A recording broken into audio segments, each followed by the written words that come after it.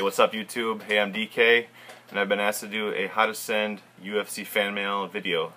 So that's what that's what I'm gonna do. Hopefully, um, this video will help you guys out with some of the tips and tricks and kind of the how-to and how I've sent UFC fan mail over the years. Um, this is mainly for how to send UFC or MMA fan mail requests. So um, some of it is adaptable also to the other sports, but I mainly focus on MMA and uh, getting UFC Topps cards signed through the mail. So to get to it, there's a bunch to cover, so here we go. Um, first of all, obviously a TTM is a through the mail uh, fan mail request for a signature, whether you send your own item or ask the fighter to send maybe a signed photo of themselves, uh, of their own. Uh, obviously it includes uh, your envelope that you're sending it with, um, your letter, uh, your item to be signed, and uh, your self-addressed stamped envelope. Um, all different kinds of envelopes to use, but I would definitely suggest for your self-addressed stamped envelope that you use pull-in peels or pull-in seals, whatever. So um, the fighters don't have to lick uh, your return envelope. Uh, just makes it easier, and if fighters are apprehensive, maybe they might send it back, um, you know, unsealed because they don't want to lick envelopes and adhesive all day. So um, obviously, the most common envelope is a number 10 num number 10 envelope and then there's there is one uh, size smaller than this that is um, if you send this to the fighter uh, your self self-addressed stamped envelope can either be a smaller envelope like uh, 3 by 6 or something or you can trifold um, I've, already, I've already trifolded this number 10 you can trifold the number 10 and put that in the envelope with your uh, with your item to be signed. Um, kind of a, a, rule of thumb is um, bigger requests obviously get noticed easier and usually get addressed quicker or or, um, or first. I remember talking to Pat Neshek on Facebook. I think he's a, a MLB um, Major League Baseball pitcher for the A's right now. I remember him telling me on Facebook that a lot of times uh, hundreds of these were discarded, but the larger envelopes were addressed by uh, a lot of the guys in the clubhouse out of their mail slots and out of their lockers. So ever since then, I've kind of had that in the back of my mind. If I really want something signed, it matters a lot to me. I'll send them in a larger envelope. So most of my TTMs come back in this size for for uh, UFC cards. So I'll fold over the bottom uh, half inch or so, and I'll slide that with my letter and my and my card. Uh, I sometimes send uh, two, three cards. I think you can get away with um, five cards in an envelope like this and still get one stamp on it. But I'll put it in a six by nine Manila, and this is just one of those uh, metal clasp or uh, um, you can lick it also, but um, usually just do a metal clasp that, that way it's easier to, um, to open when they receive it.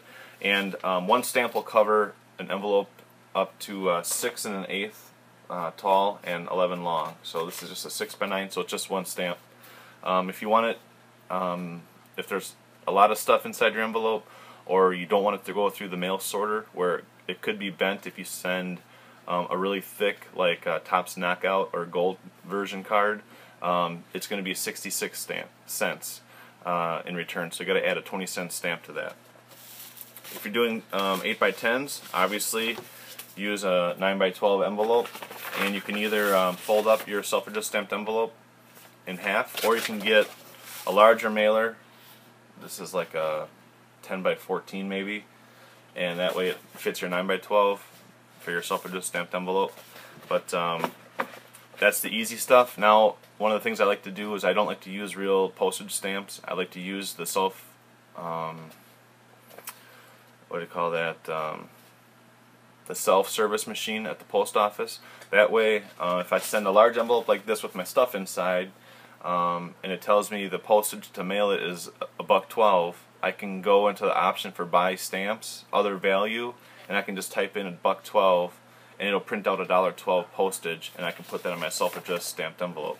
So uh, I always use the self the self-service machine at the post office. It's just quicker and I don't have to deal with having just the right value stamps, you know, because uh, a forever stamp is 46 cents right now and then, you know, 20 cent stamp and a 5 cent stamp and a penny stamp.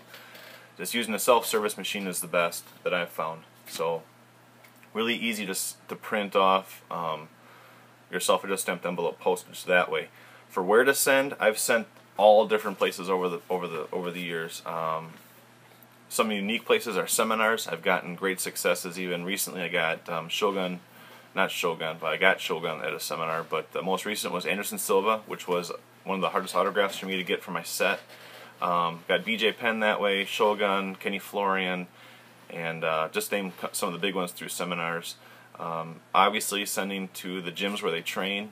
I'll even send to um, like a clerk or secretary or the owner of the gym and maybe even go through them to help me get my item passed along and in their hands, into the fighters' hands. I've sent to, fi to fighters' homes, but usually those are the ones that are either retired or mm, that's pretty much it. The inactive or retired fighters. Uh, I'll maybe sometimes send to a home address. Send it via venues. That's where you send to um, where the fighter's going to be fighting next on a fight card. So like this last, one of the last events was in Seattle at Key Arena. So you would address your envelope uh, to a key arena, attention, UFC fighter, and I put comma, and then the fighter's name, and then the street address. Some people like to add hold until date and on the bottom, but I don't do that. I've had good enough success with just putting attention to the fighter and noting that it's UFC fighter and then putting the fighter's name so they know it's for the UFC. Um, I've sent through trainers, uh, meaning like if a guy's at like Cross Fitness or something, I'll send to the trainer that they're with at Cross Fitness or whatever, and they'll get forwarded and get signed. Um, I've sent to rehab locations, um, like physical physical rehab, not like drug rehab, but like drug and alcohol rehab. But um, rehabs like GSP was in Orange County rehabbing his knee forever, and uh, several of us were able to get our GSP items signed that way. Uh, so pay attention to that, and also fighter appearances. Back in the day, uh, back when Gun Store was a UFC sponsor, official UFC sponsor, uh, in Las Vegas, they did appearances where fighters would come in and sign, and lots of times, if you sent a self-addressed stamped envelope, they would send you a signed gun store promo, or even if you sent an item in, they would have it signed for you at that signing. So it's kind of similar with how I've gotten things done at seminars. You know, you ask, hey, I really want this thing signed, would you please help me and have this forwarded to the fighter and have it signed for me when he's there for a seminar or, you know, for the for the appearance. Um, I've even, if some of you guys remember, I've even gotten an, autograph success from a hard to get foreign fighter. Uh, if you guys remember the story that Chael Sonnen told on Dana White's video blog one uh, one day on YouTube that uh, he was telling Dana White the story about how his mom almost shot Yushin Okami. Well, it's a funny story if you ever get a chance to find that on YouTube. Um, but through information on there I gleaned out of there, I was able to actually get Yushin Okami to sign.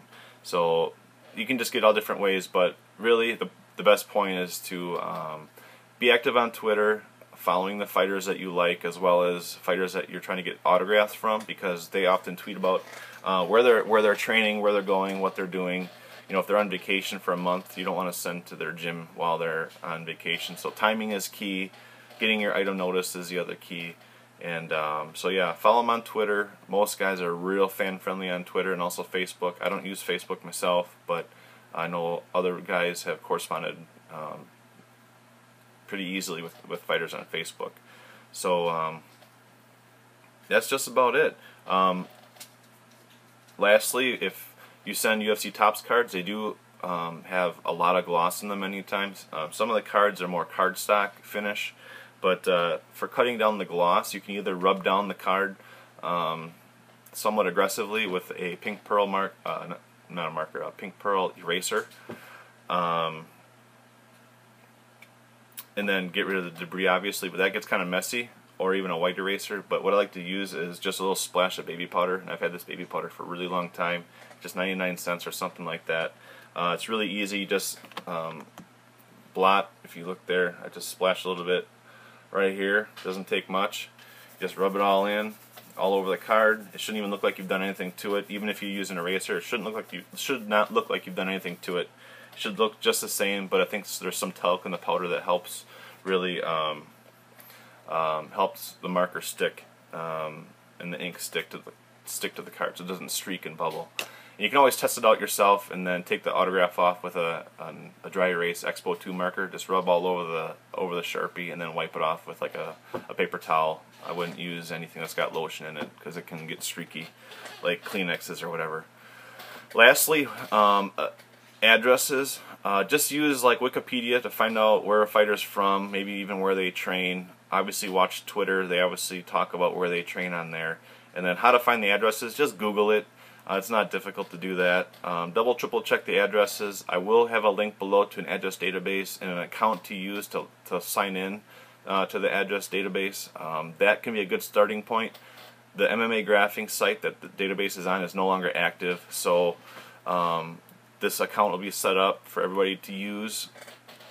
So please use it wisely. Uh, the database can be out of date. It's not being maintained anymore because MMA graphing is um, doesn't really um, get maintained anymore and there isn't an admin to run it and new members can't be registered to use the database. So there will be an account below to use and um, there will be a link also to Google Translate um, for anybody to help translate um, their English letters of request into like Portuguese, Spanish, or even some Japanese too. Um, so yeah, most of my hand, most of my letters are handwritten on a piece of paper this size, like a 5 by 7 or something, or even I like to use a post-it front and back, larger post-it. Just keep it simple, keep it personal, and um, you know, don't do too much BSing. So, or you can if you want to, but this just not my style. Being an adult to another adult, I'm not going to be all childlike. So that's it. I hope this helps you guys out. Um, if you have any questions, post below, and I'll try to reply. But that should be about it. Good luck, and uh, God bless.